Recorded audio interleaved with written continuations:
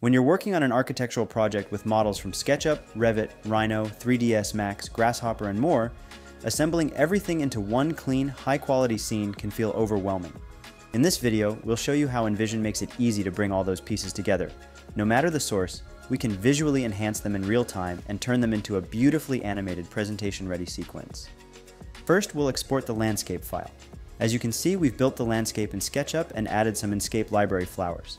We'll use the V-Ray exporter directly from the Enscape window. Let's link the file instead of embedding it, so we can easily switch to an updated version if we need to change something in the original design later. Next, we'll add the main building to our project. This time it will be from a Revit file that we designed the building in. We will use the native V-Ray scene export as an alternative to the Enscape V-Ray scene export. We could even use the independent exporter if we don't have those options available. For some reason there's a mistake in the roof design. So let's fix the Revit file and re-export the scene back in Revit. I will select the last level elevation constraint and bring it down by 1 meter. Let's wait for Revit to update the building, and once done, I will export a V-Ray scene file, making sure I'm overwriting the original one back to Envision. As you can see just by reloading it here, the problem is solved in a non-destructive way. Now let's import the complicated procedural Grasshopper geometry. We can export it straight from Grasshopper and link it to our Envision project. The pavilion is accurately and quickly represented by Envision. We also have a file with the surrounding building's detailed geometry data converted to V-Ray proxies in Rhino. This large context can be linked to our Envision project in seconds while maintaining premium visual performance. Now, we have the whole neighborhood around our building, showcasing it in its real environment. Finally, we'll add this complex elevation design made up of high polygon organic geometry. Envision handles this geometry without any issues. Now let's dive into our scene and start upgrading its visual quality. We can improve our existing scene materials, for example, by fixing their mapping coordinates and enhancing its realism. We have the most important settings of a material available to adjust, so we can fine-tune our concrete, or we can replace any material with a ready-made one from Cosmos. Why not open a door? We can manipulate any imported geometry independently.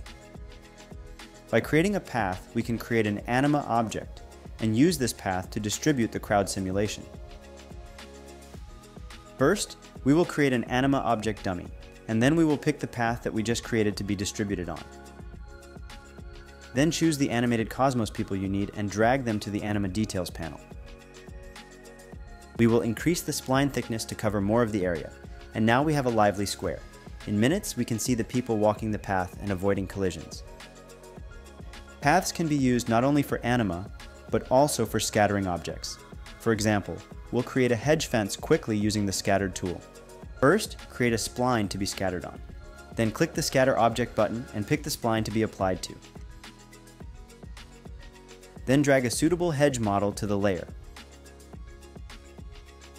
I will turn off Detect Collision to get better coverage. Then I will adjust rotation and spacing, and we're ready. We can also create a grass lawn by scattering on a plane.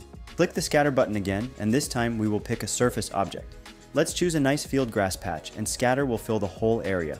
With it randomizing it properly, I will just quickly adjust the density and switch off collision detection to have better coverage. Also, max angle up vector can help with better distribution when we have an uneven surface.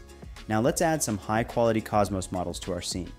These include cars and vehicles of different shapes and sizes and animated trees, including different seasonal age and species types. We'll put a few around our building and we can also use various details and assets to bring life to our scene from small elements to whole, fully detailed buildings, stalls, bus stops, and other architectural objects. In the final stage, we'll play with the most rewarding part of the project. First, we can adjust the sunlight interactively to our taste. Furthermore, we can play with the sky by adding some cirrus clouds. Now let's add some color corrections to the camera to enhance our atmosphere. These include full range gamma contrast and brightness adjustments to get rid of burnt or dark spots in your image, as well as special effects like bloom.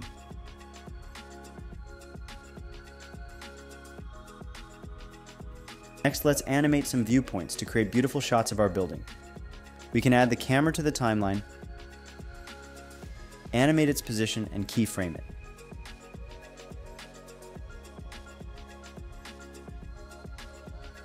Now we're ready to render. We'll switch to rendering sequence instead of a still image and increase our resolution render quality in samples to achieve a better final result for the shots. And there you have it. We've assembled a full architectural project from multiple sources, enhanced it with materials, animation, and lighting, and rendered it into a short film. With Envision, scene assembly doesn't have to be a bottleneck. It becomes a creative opportunity. Try it for your next project and see how effortlessly you can bring everything and everyone together.